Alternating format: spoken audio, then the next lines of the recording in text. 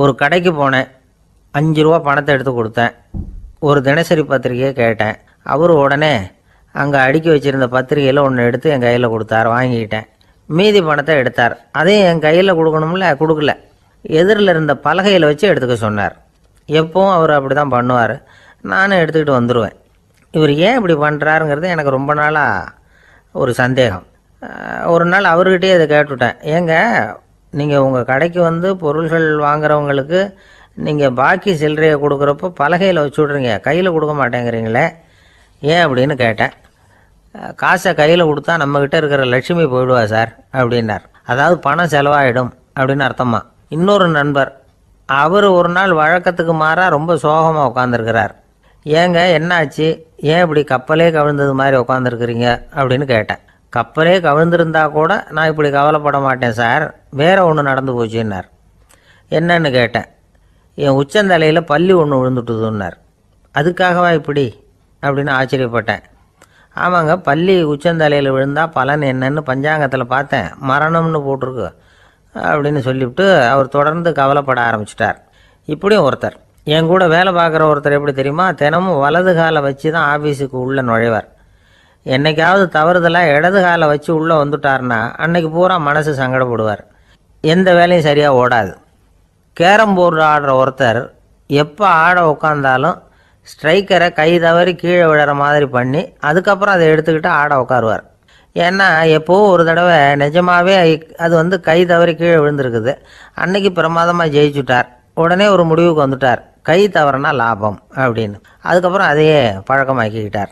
பூனை குறுக்க போனால் சகனம் சரியில்லைன்னு நினைக்கிறவங்க உண்டு. ஆனால் ஒருத்தர் எப்படி தெரியுமா? அவர் வெளியில் கிளம்புற சமயம் பக்கத்து வீட்டு ரேடியோவில் மியாவ் மியாவ் பூனை குட்டின்னு பாட்டு சத்தம் கேட்டால் கூட போதும். சகனம் சரியில்லைன்னு பிரயாணத்தை கேன்சல் பண்ணிவிடுவார் இப்போ இவ்வளவும் எதுக்கு சொல்கிறோம்னா அளவுக்கு மீறின சகுன நம்பிக்கைகள் இருக்குது பாருங்கள் இதோட பயமும் சேர்ந்துக்கிட்டதுன்னு வச்சுக்கோங்க. இது ஒருத்தருடைய மனநிலையை பாதிச்சிடும் இது வந்து உளவியல் நிபுணர்கள் சொல்கிற கருத்து. வாழ்க்கையே தடுமாற வச்சிரும். பாதுகாப்பு இல்லாத உணர்வு ஒரு விதமான டிப்ரெஷன் மனநிலை இதெல்லாம் தான் இதுக்கு காரணமாக அமையலாம். சில பேர் காய்கறி நறுக்க கத்தியை கையில் எடுத்தால் கூட நேரம் சரியாக இருக்கா? அப்படின்னு பார்த்துட்டு தான் வேலையை ஆரம்பிக்கிறது வழக்கம். அறிவு தான் மனசுக்கு வாத்தியாராக இருக்கணும். அப்போ தான் வாழ்க்கை வந்து நிம்மதியாக இருக்கும். அறிவு வந்து மனசு சொல்கிறபடியெல்லாம் கேட்க ஆரம்பிச்சுட்டுதுன்னா இடைஞ்சல் தான். ஒருத்தருக்கு ஏழாம் நம்பர் தான் ராசியான நம்பரான் ஏழாம் தேதி தான் எந்த காரியத்தையும் ஆரம்பிப்பாராம். ஏழு எழுத்து வர்றது மாதிரி பேரை மாற்றி வச்சுக்கிட்டார். ஏழு மணிக்கு தான் தினமும் எழுந்திருப்பார். ஏழாம் நம்பர் வீட்டில் தான் குடியிருக்கார். கல்யாணம் கூட ஏழாம் தேதி தான் பண்ணிக்கிட்டார். அவர் ஒரு நாள் குதிரை பந்தயத்துக்கு போனாராம். குதிரையோட பேரையெல்லாம் பார்த்தார். ஒரு குதிரையோட பேர் ஏழு எழுத்தில் அமைஞ்சிருந்தது. ஏழு தானே இவருக்கு அதிர்ஷ்ட நம்பர். அதனால் உடனே அது பேரில் பணத்தை கட்டினார். பந்தயம் நடந்தது. என்ன சார் ஆச்சுன்னு கேட்டாங்க. நான் பணம் கட்டின அந்த என்னோட குதிரை ஏழாவதாக வந்து சேர்ந்தது சார் அப்படின்னாராம் சோகமாக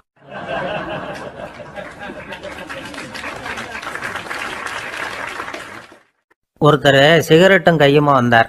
சார் இந்த புகைப்பிடிக்கிற பழக்கத்தை நிறுத்தி போடணும்னு தான் பார்க்குறேன் முடியலன்னார். புகைப்பிடிக்கிறத நிறுத்துறது ரொம்ப சுலபம் சார் அப்படின்னார் இன்னொருத்தர். எப்படி சொல்கிறீங்கன்னு கேட்டார் அவர். நான் கூட ஏற்கனவே பத்து தடவை அந்த பழக்கத்தை நிறுத்தி இருக்கிறேன் சார் அப்படின்னார் இவர். இதுலேருந்து என்ன தெரியுது? புகைப்பழக்கத்தை திடீர்னு விட்டு விடுறதுங்கிறது ரொம்ப கஷ்டம்னு தெரியுது. இருந்தாலும் இது சம்பந்தமான ஆராய்ச்சி அனுபவம் இது ரெண்டையும் அடிப்படையாக வச்சு சில வழிமுறைகளை சொல்கிறாங்க அதாவது புகைப்பிடிக்கிறத நிறுத்துறதுக்கு பத்து வழிகள் உண்டு அப்படின்னு சொல்கிறாங்க அது என்னங்கிறத தெரிஞ்சுக்கிட்டா உபயோகப்படுதான்னு பார்க்கலாமே. முதல் கருத்து என்னென்னா கொஞ்ச நாளைக்கு புகைப்பிடிக்கிற நண்பர்களை விட்டு விலகி இருக்கணும். இதனால் புகைப்பிடிக்கிற ஆசை குறையும். அந்த பழக்கத்தை மறுபடியும் ஆரம்பிக்கக்கூடாதுங்கிற எண்ணம் உறுதிப்படும். ரெண்டாவது கருத்து புகைப்பிடிக்கிறதை எதிர்த்து தீவிரமாக பிரச்சாரம் செய்ய ஆரம்பிச்சிடணும். அது அடுத்தவங்களுக்கும் உபயோகப்படும் உங்களுக்கும் உபயோகப்படும். உங்கள் உள்ளுணர்வை அது தூண்டும் உங்களை வந்து உறுதி கொள்ள வைக்கும். மூன்றாவது கருத்து என்னென்னா தினமும் ரெண்டு தடவை குளிக்கணும். எப்படி தெரியுமா? முதல்ல வெது வெதுப்பான தண்ணீர் அப்புறம் குளிர்ந்த தண்ணீர். இப்படி மாறி மாறி குளிக்கணுமா? நாலாவது கருத்து உடற்பயிற்சிகள் செய்யணும். மூச்சு வாங்குற மாதிரியான பயிற்சிகள் ரொம்ப நல்லதான். பிராணாயாமம் அப்படிங்கிற மூச்சு பயிற்சி ரொம்ப நல்லதுங்கிறாங்க. அப்புறம் ஐந்தாவது கருத்து சாப்பாடு வந்து மிதமாக இருக்கணும் சீராக இருக்கணும். பச்சை காய்கறிகள் பழங்கள் சாப்பாட்டில் சேர்த்துக்கலாம். அடிக்கடி கொஞ்சம் கொஞ்சமாக சாப்பிட்டு ரத்தத்தில் சர்க்கரையின் அளவை பராமரிக்கணும். இது வந்து நரம்புகளை வந்து அமைதிப்படுத்தும். ஆறாவது கருத்து என்னென்னா ரொம்ப நேரம் பசியோடு இருக்கக்கூடாது. புகைப்பிடிக்கிறத நிறுத்த முயற்சி செய்யும் பொழுது எடை குறைப்பு நடவடிக்கைகளை மேற்கொள்ளக்கூடாது. ஏழாவது கருத்து காப்பி தேநீர் மதுபானம் அப்புறம் போதைப் பொருள்கள் கலந்த உணவுகள் இதெல்லாம் வேணாம். புகைப்பிடிக்கிறத அதெல்லாம் ஊக்கப்படுத்தும். கடுகு மிளகு அப்புறம் காரமான பொருள்களை தவிர்க்கணும். உப்பு அளவை குறைக்கணும். தினமும் பத்து கோவலை தண்ணீராவது குடிக்கணும். வெறும் தண்ணி புகை பிடிக்கிற ஆவலை வந்து தணிக்குதான். எட்டாவது கருத்து கையில் வந்து சிகரெட்டு புகையில் ஏதாவது இருந்தால் உடனே தூக்கி எரிஞ்சிடுங்க அது கையில் இருக்கிற வரைக்கும் புகை பிடிக்கிற ஆசை வந்துக்கிட்டே இருக்கும். ஒன்பதாவது கருத்து என்னென்னா இறை நம்பிக்கை உள்ளவங்க புகை பிடிக்கிற எண்ணம் வர்றப்போவெல்லாம் பிரார்த்தனை செய்ய ஆரம்பிச்சுடலாம்.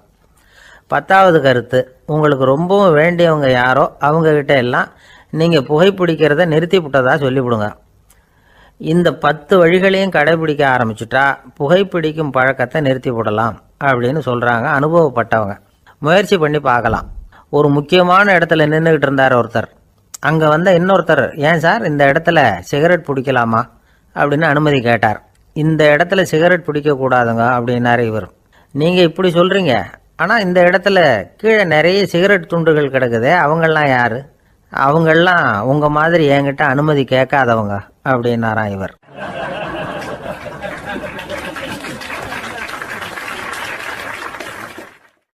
ஒரு அம்மா தெருவில் உட்காந்து என்னத்தையோ தேடிட்டு இருக்கிறாங்க.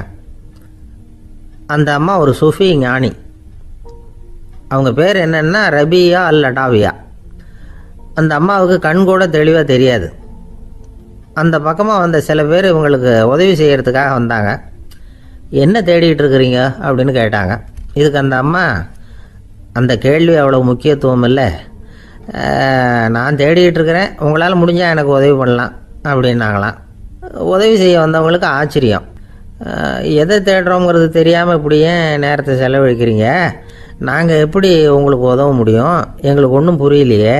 அப்படின்ட்டுருக்காங்க சரி உங்களை திருப்தி பண்ணுறதுக்காக சொல்கிறேன் ஒரு குண்டூசி தொலைஞ்சு போச்சு. அதை தேடுறேன் அப்படின்னாங்களாம் அந்த அம்மா. அதுக்கப்புறம் இவங்களும் சேர்ந்து தேட ஆரம்பிச்சிட்டாங்க. கொஞ்ச நேரம் ஆச்சு ஒன்றும் கிடைக்கல. உதவி செய்ய வந்தவங்களும் அழுத்து போட்டாங்க அப்புறம் கேட்டாங்க இதை பாருங்கம்மா இது ரொம்பவும் பெரிய தெரு அகலமான தெரு.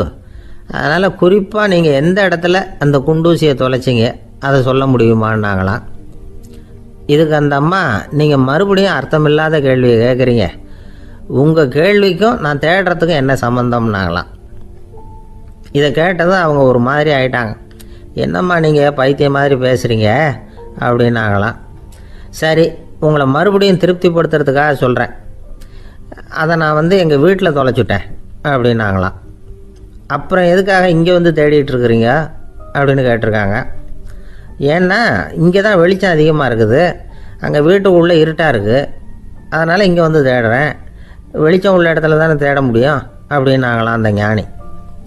இந்த கதைக்கு என்ன அர்த்தங்கிறத பெரியவங்க சொல்கிறாங்க அதாவது இந்த தேடுதல்ங்கிறது ஒரு வியாதி.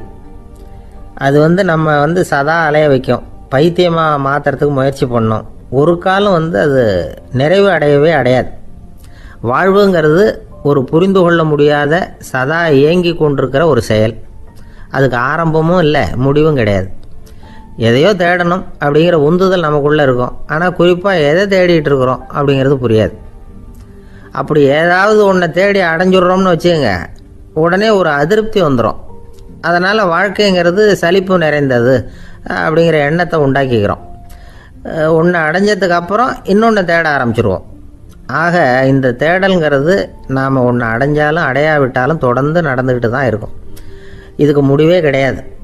இந்த உண்மையை நாம் நல்லா புரிஞ்சுக்கணும் அப்படிங்கிறது பெரியவங்களுடைய கருத்து. ஏழையும் தேடுறான் பணக்காரனும் தேடுறான் நோயாளியும் தேடுறான் நோய் இல்லாதவனும் தேடுறான். அதிகாரம் உள்ளவனும் தேடுறான் அதிகாரம் இல்லாதவனும் தேடுறான் முட்டாளும் தேடுறான் அறிவாளியும் தேடுறான். ஆனால் யாரும் இதை தான் தேடி சாதிக்க போகிறோம் இதுதான் முடிவு அப்படின்னு திட்டவட்டமாக சொன்னதில்லை. ஒன்று அடைஞ்சதும் இன்னொன்று தேட ஆரம்பிச்சிடுறாங்க அவ்வளோதான் அதாவது உங்களின் தேடுபவர் உங்கள் உள்ளே தான் இருக்கிறார். அவரை தேடி கண்டுபிடியுங்கள். இதுதான் ஞானிகள் நமக்கு சொல்லுகிற ஒரு ஆலோசனை. நம்மால் ஒருத்தன் ஜெயிலில் இருந்தான். இன்னொரு கைதி அவனை பார்த்து கேட்டான் ஏன்பா உன்னை பார்க்குறதுக்கு வெளியிலேருந்து யாருமே இங்கே வர்றது இல்லையே உனக்கு சொந்தக்காரங்களே கிடையாதா? அப்படின்னு கேட்டானா ஏன் இல்லை எனக்கு சொந்தக்காரங்க நிறைய பேர் உண்டு. அவங்க என்னை பார்க்க வராததுக்கு காரணம் வேறே. அப்படின்ட்டுருக்கான் இவன். என்ன காரணம்னு கேட்டான் அவன். அதுக்கு இவன் சொன்னானான் அதுக்கு என்ன காரணம்னா அவங்க எல்லாரும் இங்கே உள்ளேயே இருக்கிறாங்க அப்படின்னானா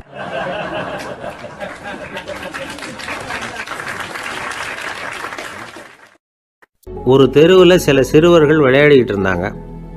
ஏதோ ஒரு உயரமான கல்லை நடுத்தெருவில் வச்சு அதை சுற்றி சுற்றி ஓடி வந்துக்கிட்டு இருக்கிறாங்க. அது என்ன விளையாட்டோ அவங்களுக்கு தான் தெரியும். கொஞ்ச நேரம் அப்படி விளையாடிக்கிட்டு இருந்தவங்க விளையாடி முடிச்சதும் அந்த கல்லை நடுத்தெருவில் அப்படியே விட்டுட்டு அவங்கவுங்க வீட்டுக்கு ஓடி போயிட்டாங்க. அதுக்கப்புறம் அந்த வழியாக ரெண்டு பெண்கள் பேசிக்கிட்டே வந்தாங்க. பேச்சு சுவாரஸ்யத்தில் நடுத்தெருவில் இருந்த அந்த கல்லை கவனிக்கல. காலில் இடிச்சுட்டுது லேசாக ரத்தம் வந்துட்டுது. வலி தாங்கலை. காலில் இடிச்சுக்கிட்ட பொண்ணு திட்ட ஆரம்பிச்சுட்டுது. வர வர ஊர் உலகம் ரொம்ப கெட்டு போச்சு. யாருக்கும் பொறுப்பே கிடையாது பாரு. இப்படி நடுத்தெருவில் பொறுப்பு இல்லாமல் இப்படி கல்லை போட்டு வச்சுருக்குறாங்களே. இது நியாயமா? அப்படின்னு சொல்லி இந்த சமூகத்தை கடுமையாக விமர்சனம் பண்ணிக்கிட்டு அவங்க போயிட்டாங்க. கொஞ்ச நேரம் கழித்து ஒரு வாலிபன் அந்த வழியாக வந்தான். அந்த கல்லை பார்த்தான் நின்னான் ஒரு நிமிஷம் யோசனை பண்ணான் என்ன பண்ணலாம்னு பார்த்தான் தன்னுடைய வீரத்தையும் பலத்தையும் காட்டணும்னு நினச்சான் பின்னாடி போனான் அப்புறம் வேகமாக ஓடி வந்து ஒரு சின்ன ஹை ஜம்ப் அப்படியே துள்ளி குதிச்சான். துள்ளி குதித்து தாண்டி அந்த பக்கமாக போய் விழுந்தான். அப்படியே விசில் அடிச்சுக்கிட்டு அவன் பாட்டுக்கு நடந்து போகிறான் அடுத்தபடியாக ஒரு காதல் ஜோடி அந்த வழியாக வந்தது. நடுத்தெருவில் கல் கண்ணில் பட்டது. அவங்க ரெண்டு பேரும் ரொம்ப நெருக்கமாக சேர்ந்து வந்துக்கிட்டு இருக்கிறாங்க. நடுவில் கல் இருக்கிறதுனால கொஞ்ச நேரம் ரெண்டு பேரும் விலகி மறுபடியும் இந்த பக்கம் வந்து சேர்ந்து போகணும். கொஞ்ச நேரம் நாம் பிரிய வேண்டி இருக்குதே அப்படின்னு வருத்தத்தோட முணுமுணுத்துக்கிட்டே இந்த பக்கம் வந்தாங்க. அதுக்கப்புறம் வழக்கம் போல் சேர்ந்து அவங்க பாட்டுக்கு எதிர்காலத்தை பற்றி கற்பனை பண்ணிக்கிட்டே போயிட்டாங்க. கடைசியாக அந்த வழியாக பார்வை இல்லாத ஒருத்தர் வந்துக்கிட்டு இருக்கார். அவர் கையில் வழக்கமாக வச்சிருக்கிற அந்த ஊன்றுகோல் கையில் இருக்கிற அந்த ஊன்றுகோலால் தனக்கு முன்னாடி அப்படியும் இப்படியும் அப்படியே தட்டிக்கிட்டு பார்த்துக்கிட்டே அவர் மெதுவாக நடந்து வந்துக்கிட்டு இருக்கிறார். வழியில் இருக்கிற அந்த கல் தட்டுப்பட்டுது. உடனே நடுத்தெருவில் ஒரு கல் இருக்குங்கிறத அவர் புரிஞ்சுக்கிட்டார். உடனே குனிஞ்சார். அந்த கல்லை தடவி பார்த்து எடுத்தார். தெரு ஓரமாக கொண்டுட்டு போய் போட்டார். அதுக்கப்புறம் அவர் பாட்டுக்கு அவர் வழியில் நடந்து போனார். இப்போது இதில் பல பேர் வந்தாங்க போனாங்க. இவங்களில் பார்வை உள்ளவங்க யார்? பார்வை இல்லாதவங்க யார்? இப்படி ஒரு கேள்வி கேட்டால் என்ன பதில் சொல்ல முடியும்? கொஞ்சம் யோசிச்சு பார்த்தா இன்றைக்கி பல பேர் இப்படி தான் இருந்துகிட்டு இருக்கிறோம். ஒரு ஆள் பார்க்கறதுக்கு பெரிய மனுஷன் மாதிரி இருக்கார். ஒரு தெரு வழியாக நடந்து வந்துக்கிட்டு இருந்தார். இருட்டு நேரம். வழியில் ஒரு பெரிய கல் கிடந்தது. கருங்கல் பார்த்தார். கொஞ்ச நேரம் யோசிச்சார். போய் தூக்கி பார்த்தா ரொம்ப கனமாக இருந்தது. இன்னொரு ஆள் சேர்ந்தாதான் தூக்க முடியும். இவர் உடனே ரோட்டோரமாக போய் ஒரு மரத்தடியில் உட்காந்துக்கிட்டார் ரெண்டு பக்கமும் பார்த்துக்கிட்டே இருக்கார். யாராவது வர்றாங்களான்னு. கொஞ்ச நேரத்தில் ஒருத்தர் வந்தார். இவருக்கு தெரிஞ்சவர். என்னங்க இந்த நேரத்தில் இங்கே உட்காந்துருக்குறீங்கன்னு கேட்டார் அவர். அதோ அந்த கருங்கல் அப்படின்னு சுட்டி காட்டினார். ஓ அதை தூக்கி ஓரமாக போடணுமா? வாங்க ரெண்டு பேரும் தூக்கலான்னார் வந்தவர். நான் அதுக்காக உட்காந்துருக்கலேன்னார் இவர். பின்ன வேற எதுக்காகன்னார் அவர். ஒரு மனுஷன் கருங்கல்லில் காலை இடிச்சுக்கிட்டான்னா எப்படி துள்ளுவான்னு பார்க்கணுங்கிறது எனக்கு ரொம்ப நாளாக ஒரு ஆசை. அதுக்காக தான் உட்காந்துருக்குறேன் அப்படின்னாராம். ஒரு அப்பாவுக்கு ரெண்டு பிள்ளைங்க. மூத்தவன் ரொம்ப அடக்கம். அப்பா எது சொன்னாலும் கேட்பான். பெரியவங்களுக்கு கீழ்ப்படிஞ்சு நடப்பான். இளையவன் அப்படி இல்லை. தான் நினச்சதை தான் சொல்லுவான் செய்வான். அடுத்தவங்க சொல்கிறத கேட்க மாட்டான். அடங்கி நடக்க மாட்டான். இந்த ரெண்டு பேரில் யாரை வந்து உங்களுக்கு பிடிக்கும்? பெரியவனை தான் பிடிக்கும். ஏன்னா அவன் தான் சொல்கிற பேச்சை கேட்குறவன் அப்படின்னு சொல்லுவீங்க. ஆனால் ஒரு ஞானி என்ன சொல்கிறாரு தெரியுமா? ஒரு குழந்தை அதன் அறிவுக்காக மதிக்கப்பட வேண்டுமே தவிர அதனுடைய கீழ்ப்படியும் தன்மைக்காக அல்ல அப்படிங்கிறார். நம்ம குழந்தைகளை வந்து சுயமாக சிந்திக்கிறதுக்கு நாம் விடுறதில்ல. மற்றவங்கள பார்த்து காப்பி அடிக்கிறதுக்கு தான் நாம் அவங்களுக்கு கற்றுக் கொடுக்குறோம். புகழ்பெற்ற மனிதர்கள் சிலருடைய பேரை சொல்லி நீயும் அவர் மாதிரி ஆகணும் இவர் மாதிரி ஆகணும் அப்படின்னு சொல்லிகிட்டே இருக்கிறோம். குழந்தைகள் வந்து தங்களுடைய தனித்தன்மையை வளர்த்துக்கிறதுக்கு நாம் தடையாக இருக்கிறோம். ஒரு குழந்தைகிட்ட அனாவசியமாக வந்து நம்பிக்கையை வளர்த்துறக்கூடாது. எந்த கோட்பாட்டையும் திணிக்கக்கூடாது. நாம் ஏற்கனவே அர்த்தமில்லாத கருத்துக்களையும் கொள்கைகளையும் மனசில் போட்டு நிரப்பி வச்சிருக்கிறோம். இந்த உலகத்துக்கு புதுசாக வந்து சேர்ந்திருக்கிற ஒரு குழந்தையின் தூய்மையான மனசில் நம்ம கருத்துக்களை அறிமுகம் செய்ய அல்லது திணிக்கிறதுக்கு நமக்கு எந்த அதிகாரமும் கிடையாது. ஒரு குழந்தைய நீ இந்த மதத்தை சேர்ந்தவன் அப்படின்னு பிறந்ததுமே ஒரு முத்திரை குத்தி விடுறோம். இது அதோட சுதந்திரத்தை ஆரம்பத்திலேயே கிள்ளி எறிகிறது மாதிரி தான் நீங்கள் ஒரு மதத்தின் வழிமுறைகளை கடைப்பிடிச்சிக்கிட்டு வர்றீங்க. அந்த வழியில் போய்கிட்டு இருக்கிறீங்க. சரி. அதனால் போகிறீங்க அதுக்காக உங்கள் குழந்தையையும் அதே வழியில் தான் வரணும் அப்படின்னு கட்டாயப்படுத்துறதுக்கு உங்களுக்கு என்ன உரிமை இருக்குது? அந்த குழந்தை சுயமாக சிந்திச்சு ஒரு முடிவுக்கு வரட்டுமே. அதுக்கு நீங்கள் ஏன் தடையாக இருக்கிறீங்க? நமக்கு உண்மையிலேயே நம்ம குழந்தை மேலே அன்பு இருந்தால் இது மாதிரி திணிப்பு வேலைகளை செய்யக்கூடாது. திணிப்பு வேலைகள்லேருந்து குழந்தைகளை காப்பாற்றினா போதும். அதுதான் ரொம்ப முக்கியம். அடுத்த தலைமுறை அற்புதமான தலைமுறையாக உருவாகும். நாம் தான் சாதி மத சங்கடங்களில் மாட்டிக்கிட்டு தவிக்கிறோம். அவங்களாவது சாதி மத வேறுபாடு இல்லாத சமுதாயத்தை பார்க்கட்டுமே. அந்த சௌகரியங்களை அனுபவிக்கட்டுமே. அதுக்கு நாம் என்ன செய்யணும்னா ஒன்றும் செய்யாமல் இருந்தால் போதும். ஒரு குழந்தைகிட்ட நம்ம கருத்தை திணிக்கும் பொழுது என்ன ஆகுது தெரியுமா? அது வந்து அவனை அவங்ககிட்ட இருந்தே அப்புறப்படுத்தி விடுது. அவனுடைய தனித்தன்மையை அழிச்சிருது. அவனை ஒரு எல்லைக்குள்ளே திணிச்சிருது. இதெல்லாம் அன்புங்கிற பேரால் பெற்றோர்கள் செய்கிற தப்பு.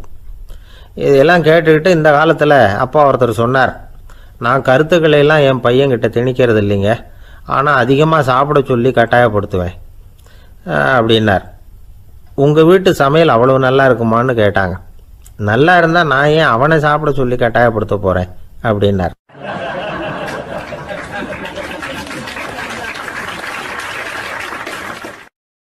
ரெண்டு பேர் சுவாரஸ்யமாக பேசிகிட்டு இருக்கிறப்போ குறுக்க புகுந்து தொந்தரவு பண்ணுறதுக்குன்னே சில பேர் இருப்பாங்க. அது ரொம்ப இடைஞ்சலாக இருக்கும். இதே மாதிரி மின்காந்தம் கூட குறுக்க புகுந்து தொந்தரவு பண்ணும். கடைசியில் அது ஒரு பெரிய இடைஞ்சலில் கொண்டாந்து விட்டுரும். சில வீடுகளில் கேபிள் கனெக்ஷன் இல்லாமல் சில தனியார் டிவி காட்சிகள் தெரியும். அதுக்கு என்ன காரணம்னா இந்த மின்காந்த குறுக்கீடு தான் காரணம். இதைத்தான் சுருக்கமாக இஎம்ஐ அப்படின்னு சொல்கிறாங்க அதாவது எலக்ட்ரோ மேக்னெட்டிக் இன்டர்ஃபியரன்ஸ் இது ஏற்படக்கூடிய இடங்கள் எது எதுன்னு எடுத்துக்கிட்டால் அது ஒரு பெரிய பட்டியலாகவே போயிடும். இந்த இஎம்ஐ தொந்தரவு வந்து கேபிள் டிவியில் மட்டும்தான் இல்லை. ராக்கெட் ஏவுதளத்தில் உள்ள ரேடார்கள் அங்கே உள்ள சில சக்தி வாய்ந்த தொலைத்தொடர்பு சாதனங்கள் விமான தளங்களில் உள்ள ரேடார்கள் கப்பல் தளங்களில் பொருத்தப்பட்டிருக்கக்கூடிய சக்தி வாய்ந்த ஆண்டனாக்கள் இப்படி நிறைய சொல்லலாம். காவல் நிலையங்களில் பயன்படுத்தப்படுகிற வயர்லெஸ் தொடர்பு சாதனங்கள் கூட ஓரளவுக்கு இந்த மின்காந்த அலைகளை வந்து வெளியிடும். நம்ம வீட்டில் உட்காந்துக்கிட்டு ரேடியோ கேட்டுக்கிட்டு இருப்போம். அல்லது டிவி பார்த்துக்கிட்டு இருப்போம். அந்த சமயத்தில் பக்கத்து தெருவில் ஒரு மோட்டார் சைக்கிள் அல்லது காரு குறிப்பாக பெட்ரோல் இன்ஜின். அது போகிறப்போ அதில் உள்ள மின்காந்த மின்கலத்தில் வந்து அதாவது மேக்னட்டோ பேட்டரியிலிருந்து வெளிப்படுகிற மின்காந்த அலை இங்கே வந்து டிவியிலையும் ரேடியோவிலையும் கரகரப்பு உண்டு பண்ணும். சரி இது வந்து பெருசாக என்ன இடைஞ்சலை உண்டு பண்ணிட போகுது அப்படின்னு நாம் அலட்சியமாக நினைக்கலாம். வயசானவங்களுக்கு மறதி நோயின்னு ஒன்று வரும்ல? அல்ஷமீர் அதாவது மூளையில் உள்ள செல்கள் வந்து செயலிழந்து போயிடுறது. அது செய்ய வேண்டிய வேலையை மறந்துடும் மனைவியே எதிரில் வந்து நின்னா கூட உன்னை எங்கேயோ பார்த்தது மாதிரி தெரியுதே அப்படின்னு சொல்லிட்டு இருப்பாங்க. அப்படி ஒரு மறதி. இந்த விசித்திரமான நோய்க்கு இதுவரைக்கும் மருந்தே இல்லைன்னு வேற சொல்கிறாங்க இந்த மைக்ரோ ஓவன் அப்படின்னு சொல்லக்கூடிய சமையல் அடுப்புகள் கூட மின்காந்த அலைகளை வந்து வெளியிடுது. சமயத்தில் சில தொழிற்சாலைகளில் கூட பெரிய விபத்துக்களை இந்த இஎம்ஐ உண்டு பண்ணிவிடும். இதை பற்றி தீவிரமாக சிந்திக்க ஆரம்பிச்சதே ஒரு விபத்துக்கு பிறகு தான் அமெரிக்காவுக்கும் வியட்நாமுக்கும் இடையில் போர் நடந்ததை. அந்த சமயம் அமெரிக்காவுக்கு சொந்தமான விமானம் தாங்கி கப்பல் ஒன்று வியட்நாமை தாக்கிறதுக்கு தயாராக ஏவுகணைகளோட கடலில் நிறுத்தி வைக்கப்பட்டிருந்தது. தற்செயலாக அந்த பகுதியில் கப்பல் தொலைத்தொடர்பு பகுதிக்கு அருகில் ஊடுருவிய இந்த சக்தி வாய்ந்த ரேடியோ அலைகள் ஏவுகணையில் இருந்த மின்னணு சர்க்கியூட்டை பூர்த்தி செஞ்சு வச்சுட்டுது. அவ்வளவுதான். ஏவுகணை அங்கேயே வெடித்து செதறி போச்சு.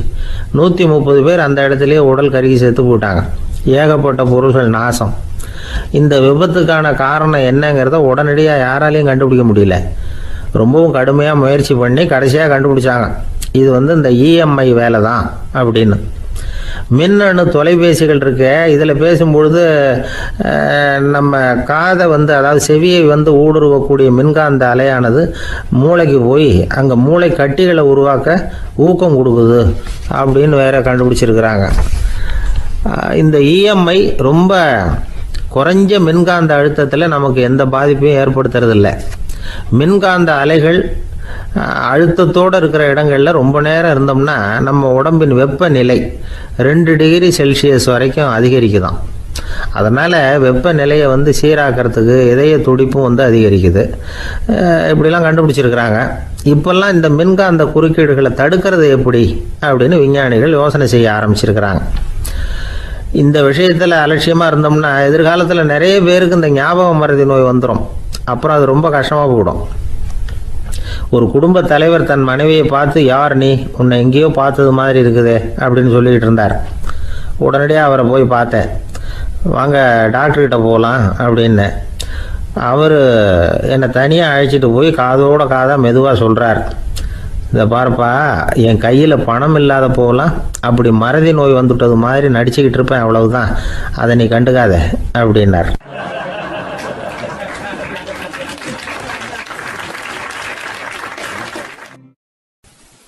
ஒரு ஏரி ஓரமாக ரெண்டு பசங்க நடந்து போய்கிட்டு இருக்கிறாங்க அதில் ஒருத்தன் பணக்கார வீட்டு பையன் இன்னொருத்தன் ஏழை. இவங்க ரெண்டு பேரும் போய்கிட்டு இருக்கிறாங்க வழியில் ஒரு இடத்துல ஒரு ஜோடி செருப்பு இவங்க கண்ணில் படுது. ஒரு விவசாயி அந்த செருப்பை அங்கே விட்டுட்டு பக்கத்தில் இருந்த ஏரியில் கை காலை கழுவிட்டு இருக்கிறார் உடனே அந்த பணக்கார பையனுக்கு ஒரு ஐடியா. அவன் சொன்னானா டேய் இப்போ ஒரு வேடிக்கை செய்யலாம். அந்த செருப்பு ரெண்டையும் தூக்கி எட்டத்தில் வீசி எரிஞ்சிருவோம். அந்த ஆள் வந்து பார்த்துட்டு செருப்பை தேடி அல்லாடுவான். அங்கேயும் இங்கேயும் ஓடுவான். திரு திருன்னு முழிப்பான். அதை பார்த்து நாம் ரசிக்கலாம். நல்ல தமாஷா இருக்கும் அப்படின்னு இருக்கான் இப்படி சொல்லிவிட்டு அந்த செருப்புகளை தூக்கத்துக்கு போனானா. கொஞ்சம் பொறு அப்படின்னானா அந்த ஏழை பையன். ஏன்னு கேட்டிருக்கான் அவன். இப்போ அந்த ஏழை பையன் சொன்னானா நீ சொல்கிறது ஒன்றும் வேடிக்கை கிடையாது. உன்னோட செருப்பு தொலைஞ்சா உன் அப்பா உடனே உனக்கு வேற செருப்பு வாங்கி கொடுத்துருவார். ஆனால் அந்த ஆளுக்கு இந்த செருப்பு தொலைஞ்சதுன்னா வேற புதுசாக வாங்குறதுக்கு வாயையும் வயத்தையும் கட்டி பணத்தை சேர்க்க வேண்டியிருக்கும். அதனால் நான் ஒரு வேடிக்கை சொல்கிறேன் அது மாதிரி செய். அது இன்னமும் தமாஷா இருக்கும் அப்படின்னு நானா எப்படி அது சொல்லுன்னு இருக்கான் அவன். செருப்பு ரெண்டும் அது இருக்கிற இடத்துலயே இருக்கட்டும். உன் சட்டப்பையிலிருந்து ஒரே ஒரு ஒரு ரூபாய் நாணயத்தை எடு. அதை அந்த செருப்பு மேலே அதோட குதிகால் பகுதியில் வச்சுட்டு நாம் ரெண்டு பேரும் அந்த மரத்துக்கு பின்னாடி ஓடி போய் மறைஞ்சு நின்றுக்குவோம் அப்புறம் பாரு வேடிக்கையை அப்படின்னா.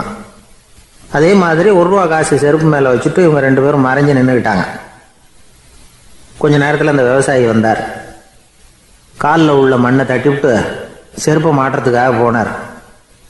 அங்கேருந்து காசு கண்ணில் போட்டுவிட்டுது. அவருக்கு ஆச்சரியமாக போச்சு. அதை கையில் எடுத்து பார்க்குறார். நாலு பக்கமும் திரும்பி திரும்பி பார்க்குறார். யார் இதை வச்சுருப்பான்னு? கடைசியில் ஆகாயத்தை பார்க்குறார். ஆண்டவா இது உன்னோட கருணை தான். நீ தான் யாரோ புண்ணியவான் மனசில் தர்மம் பண்ணுற எண்ணத்தை உண்டாக்கி இருக்கிற. அந்த புண்ணியவான் நல்லா இருக்கணும் அப்படின்னு வாழ்த்தி அந்த காசை கண்ணில் ஒத்திக்கிட்டாராம் மறைஞ்சிருந்து பார்த்துக்கிட்டு இருந்த ஏழை பையன் இப்படி சொன்னான். பாத்தியா உன்னை புண்ணியவான்னு வாழ்த்தி விட்டு போகிறார் அந்த ஆள். அவருக்கும் சந்தோஷம். அதை பார்த்து நமக்கும் சந்தோஷம். உனக்கு ஒரு ரூபாங்கிறது ஒரு பெரிய விஷயம் இல்லை ஆனால் அதனால் நமக்கு கிடைச்சிருக்கிற மகிழ்ச்சி ரொம்ப உயர்வானது அப்படின்னு நானும் வேடிக்கையும் கிண்டலும் இது மாதிரி அடுத்தவங்களுக்கு இடைஞ்சலாக இல்லாமல் இருக்கணும் அப்படிங்கிறார் கலைவாணர். ஆனால் பாருங்கள் அவருக்கே இடைஞ்சலாக வர்ற விஷயங்களை கூட அவர் வேடிக்கையாக தான் எடுத்துக்கிட்டாராம் ஒரு தடவை ஒருத்தர் கலைவாணர்கிட்ட வந்து ஐயா என் குழந்தை செத்து போச்சு அப்படின்னு சொல்லி அழுதாராம். உடனே இவர் அவருக்கு நூறுரூவா பணத்தை கொடுத்து இந்தாங்க அடக்கம் செய்யுங்க அப்படின்னு சொல்லி அனுப்பி வச்சாராம். ஒரு வருஷம் கழிச்சு மறுபடியும் அதே ஆள் வந்திருக்கார். இவர் மறந்துருப்பாருங்கிற நினப்பில் அண்ணே என் குழந்தை இறந்து போச்சுண்ணே அப்படின்னாராம். இவர் மறுபடியும் நூறுரூபா கொடுத்து ஆறுதல் சொல்லி அனுப்பி வச்சாராம். ஏழு எட்டு மாதம் கழித்து மறுபடியும் அதே ஆள் வந்திருக்கார். அவர் வாயை திறக்கிறதுக்கு முன்னாடியே இவர் நூறுரூபாய் அவர் கையில் வச்சு போன ரெண்டு தடவை தான் குழந்தை செத்து போச்சு. இந்த தடவையாவது அதை சாகாமல் காப்பாற்றி விடு அப்படின்னு சொல்லி அனுப்பி வச்சாரா அதுக்கப்புறம் அந்த ஆள் வர்றதே இல்லையா?